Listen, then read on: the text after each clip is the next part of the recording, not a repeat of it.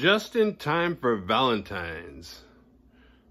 Tonight's movie is it's a throwback to last year because it's the same movie I did last year. Only last year I wasn't making videos. I was doing the written reviews. And so this year I thought, how about if we did a little throwback to the written review and we just read a, re a written review and we film it and throw in some pictures and stuff. Because there was a big part of me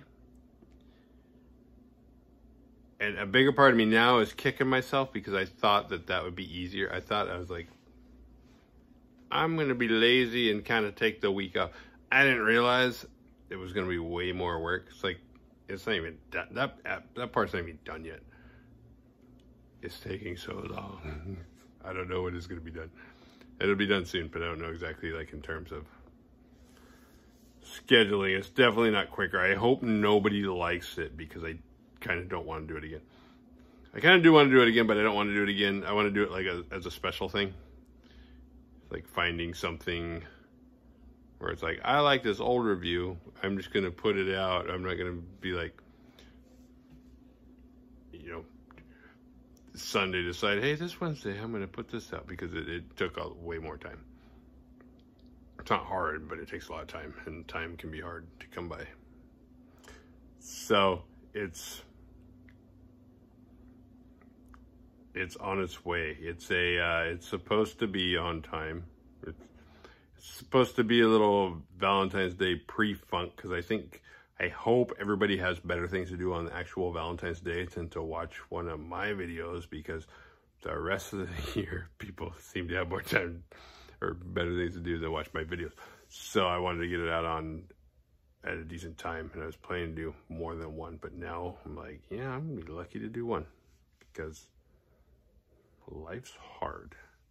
So, without further ado, uh, I'm going to put it on. Uh, enjoy. I'm sure a lot of you guys have been wanting this for a long time. You, this is a huge opportunity. You get to listen to me read.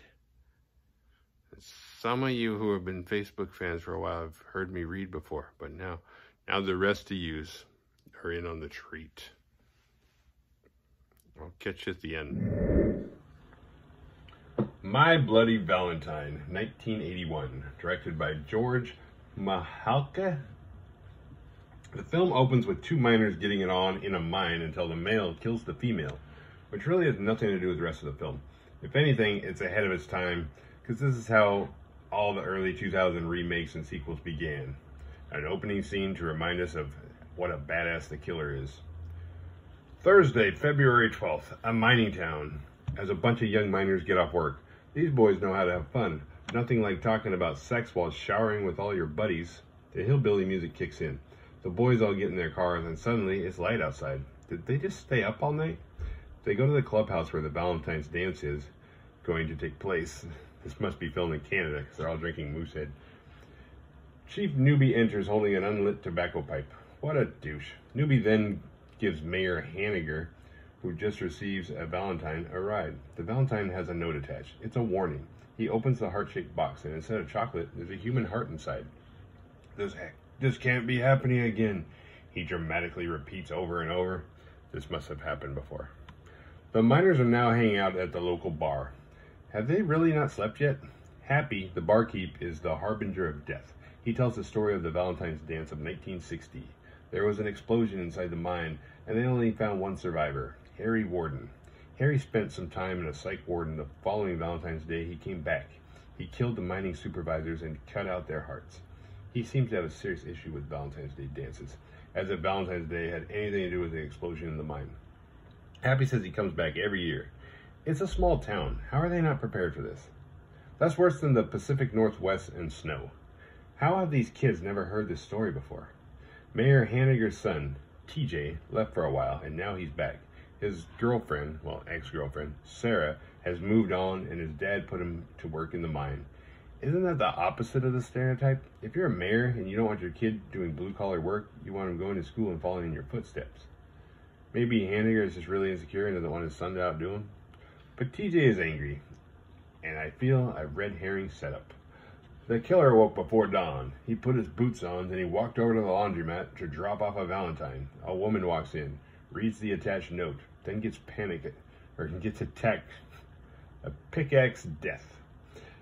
Elsewhere at the junkyard, I assume these three friends are high because it's after dark and they are heating up food on the radiator of a car. TJ and Axel are not too far away getting drunk while Axel plays a harmonica. The killer is watching. Now that TJ is back, Sarah's with Axel and everybody is giving him shit for leaving. Are they still trying to set up the red herring? Even though we just saw everybody from the killer's POV? The next day, Mayor Hanniger and Chief Newby are on the case while Sarah is trying to decide between Axel and TJ. Newby discovers Mabel's body at the laundromat. She, she's fried in the dryer. That's one serious dryer. Hanniger is obsessed with Harry Warden and it's happening all over again, while Newby wants to keep it on the DL. Hanniger cancels the dance, thinking that will solve everything. TJ takes Sarah to the river, or lake, some body of water. Nobody knows where TJ went, when they when he disappeared or why. Now he's trying to win her back. With the dance canceled, everybody hangs out at the bar and decide to have their own little party. But where? Why don't they just hang out at the bar for Valentine's Day? It's the same thing. Parties are for people who aren't old enough to get into a bar, and the bar cleans up your mess. They decide to have the party at the clubhouse by the mine. Happy is pissed and decides to take matters into his own hands. But while preparing a scare, he becomes the next victim. The following evening, as the festiv festivities are beginning, Newby gets a present, a heart-shaped box. There's no human heart inside. However, it is from Mabel. You know, the woman who died a few days ago. Newby walks around smoking his unlit pipe like he thinks he's Sherlock Holmes, and he discovers another heart-shaped box. This time it's bloody and there's a note attached letting him in on the party. At the party, TJ and Axel get into a fight over Sarah until Lucas breaks it up. Axel goes outside alone with his beer. Killer filler. Some girl waiting for some guy to return with a beer. John and Sylvia. He returns and finds her corpse hanging in the shower, and guess who's not getting laid tonight? It's that point at the party where it's time to take a ride through the mine, which piss, pisses TJ off because there's a rule against women going inside the mine. But there's not a rule against partying there, apparently. They all go anyway. But TJ stays behind because he might be the killer. Dun dun dun. He's definitely not the killer. But nice try, movie.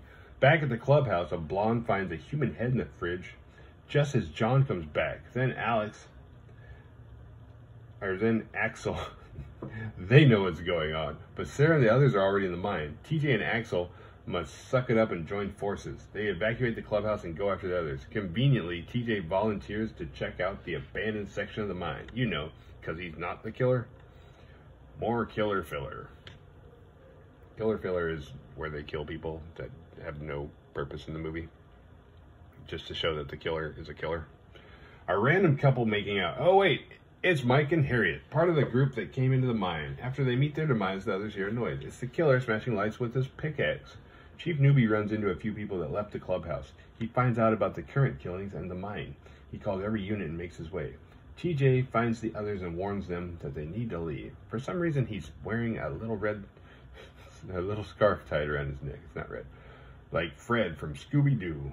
What was that? Was that really a thing back then? He's also revealing a lot of chest hair. Lucas finds Harriet and Mike's corpses. Then he finds the killer. Then death finds him. Sarah, Patty, and Howard, I'm throwing these names out as I learned them, stumble across or upon Lucas's corpse. The killer is approaching, but the girls can't get their shit together, so Howard just bails on them. Sarah slaps the shit out of Patty, Patty and Axel finds them. We've still yet to see TJ and the killer in the same scene. Dun dun dun! I'm kidding. He's definitely not the killer. They find TJ just as the Newby approaches the scene.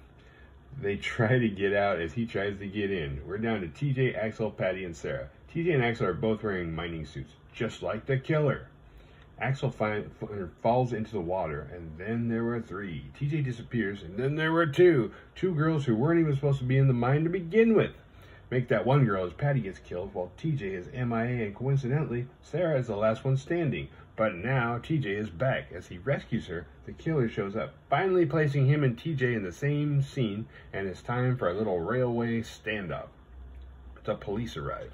The killer is about to kill TJ until Sarah intervenes with a large rock, which leads to the big weird reveal the pulling ending out of your ass scene. Axel has a flashback of Harry Warden killing his father while he hid under the bed. They kill him, but once the cops arrive, we find he is still very much alive, setting up the sequel that never was. As he disappears, he's singing and laughing, like the Skittles rabbit. The end. If you did enjoy that review, there are I did reviews for a few years before I started doing videos and there's a good at least 150 to 200 there's probably might be closer to 250 i have no idea. It might be it might be 175 i don't know but if you go to the website you can click on the link in the you know below in the comment section and you can look up uh, there is a search option. I think it's actually kind of hard to find on the page though but if you if you like scroll up there's a search you know the microscope. And you can type in type in a movie type in a keyword um, if it's if it's if i've done something on it it's there. It'll come up. Because i was pretty good about tagging then i found out i didn't have to tag that well because it's like you can just you just type in the and it'll pull up everything i've ever written that has the word the in it. But other than that have a happy valentine's day. I will talk to you soon with a new original it's kind of a quasi busy month because it's uh, it's February. We got Valentine's Day, we got Women in Horror, and we got Black History Month, and we got I got two weeks left to cover it, so stay tuned. The Badass Award goes to Sarah, even though all she did was hit the killer with a rock, but she also put up with a lot of emotional bullshit in the meantime. What did we learn? Survival tips! Don't get it on in a mine. Don't leave a party alone. Don't separate in a mine.